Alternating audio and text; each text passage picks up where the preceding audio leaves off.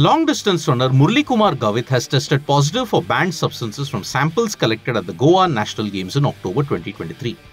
Gavit, a seasoned athlete with a silver medal from the 2019 Doha Asian Athletics Championships and a gold medal from 2023 National Open Athletics in the 10,000 meters, tested positive for EPO. The drug boosts the blood's oxygen carrying capacity, giving an unfair advantage in endurance sports. The news of Gavit losing his silver medal at the National Games due to doping has caused quite a stir, prompting the IOA to take immediate action.